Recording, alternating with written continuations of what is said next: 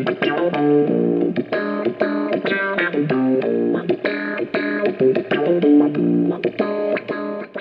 are you guys approaching 3D differently from uh, D and other players that are selling 3D technology?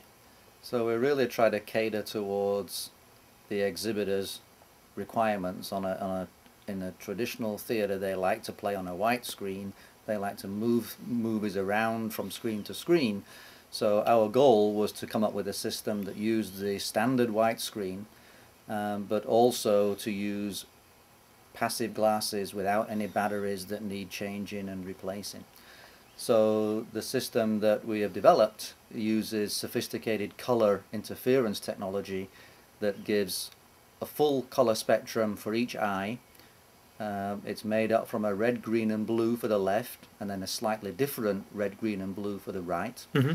There's a filter inside the projector that does the filtering for the left and the right eye and then the filters in the glasses are complementary to the, that filter in the projector that then allows the left image to go to the left eye and the right image to go to the right eye.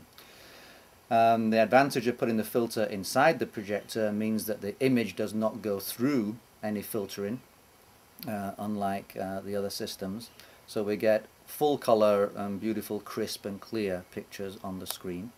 The advantage of using the white screen means that this, the picture looks beautiful from the outset and moreover every seat in the auditorium has a great picture because a white screen is uh, provides that benefit. Is there a cost benefit too that could make this the solution that's more widely embraced by exhibitors?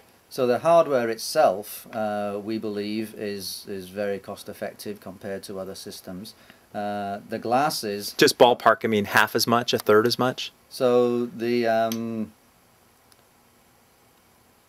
the hardware and software uh, is under twenty thousand dollars, Mm-hmm.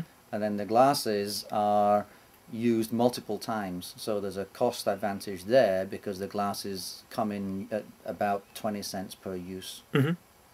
And um, what what's the first uh, big release that people will be able to see the Dolby Digital Cinema 3D system? Or maybe I'm calling it by the wrong name. You probably have something pithier. 3D digital cinema is Uh-huh. correct, and uh, we're installing theaters as we speak. Uh, the first ones that get installed will be playing Disney's Nightmare Before Christmas, Mhm. um, but the main push uh, is for Paramount's Beowulf, which Mhm. opens on November 16th. hmm And I guess just last question is, how do you see the future of digital 3D playing out? I mean, is this a sort of thing that your end game is? Well, there'll be one or two auditoriums in every multiplex that'll be able to play 3D content. We see 3D as the wow factor that digital cinema needed to get digital cinema really moving, and um, it's it's clearly taken off in the imagination of the movie makers in Hollywood, and lots of movies are being made that way, and exhibitors love it because the audiences love it. It's a it's a great movie going experience that you Mhm. can only have in the theater and not in the home. Mhm. So it, it's great for everybody who goes to the movies.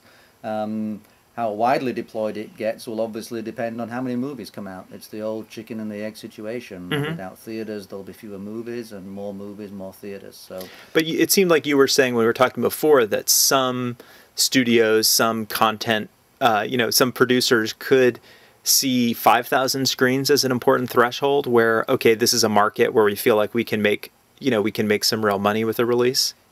it's clearly still expensive to convert a 2D film into 3D. Mm-hmm. So if you're doing a release for 3D only, then you need to be able to exploit that on a large number of screens. Mhm. But we've seen with our previous technologies that um, it very much varies from country to country and Mhm. from movie to movie. What is that threshold that makes somebody invest in the production techniques Mhm. that allows it to go into the theater, whether it was surround sound or whether it was digital audio, and now whether it's 3D? What's the number of 3D screens in the U.S. today, roughly? It's roughly 700. Uh huh.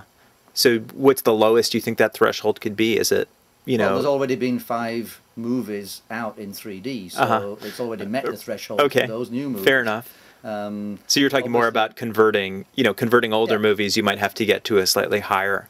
if you're going Threshold. to release a movie in 3D only, which clearly is on the horizon, and Mhm. some directors want to do that, then they need to make the money back from the production techniques. And the, the production techniques are anywhere between 10 and 18 million dollars Mhm. to do that conversion. So they need to be uh, feel confident that they can recoup that kind of investment Mhm. from many many screens. And that number you just cited is is really for converting an older movie into 3D, Yeah. not for I mean starting shooting a movie in 3D from scratch could be Right. just the same budget as a regular a regular film, right? You're just paying for the you know paying uh, maybe a little extra for the 3D camera. Uh, yeah, and, and obviously there's more complicated production, post-production Mm-hmm. techniques as well in terms of everything you do. You have to do it to two images, Mhm. and you have to keep it perfectly in sync. One thing that's been interesting to me, just and this is something that hadn't occurred to me before, is that you know in the 1950s with 3D, there were some independent. I think in the 50s and 60s there were some independent releases in 3D. I think the first one, Bwana Devil, was actually an independent producer that kind of kicked off the 3D craze. Do you think we could see some independent directors and producers um, releasing 3D pictures? I think we'll see the whole range. Right now, of course, it's the, the big studio pictures, but we also have little independent movies like Fly Me to the Moon, which is Mhm. going to be released in February. Uh, is a small production company out of Belgium. Um, it's, the same in, with any technology. You know, all you need is an enthusiastic director who wants Mhm. to employ that technology, Mhm. and um, whatever size budget movie is working on, he'll make it work within that budget. Um, we certainly saw that with, with the launch of surround sound and, and Dolby Digital. That, um, and also the, the argument of does does a technology only apply to a certain type of movie? Um, early on in surround sound, the surround is only worthwhile for action movies. Well, Mhm. of course, now every movie has surround sound. Um, same as every movie is in color. Uh, and the same as every movie is now in digital audio when they said it was only going to be used for Batman and, and those types of movies. And I think the same thing is now being said of 3D. Is It's it only for kids' only movies, certain it's- movies, yeah. kids' cartoon movies, or, or, or the big blockbusters.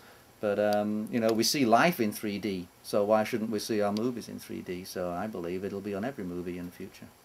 Cool. Well, thanks for talking with us. You're welcome.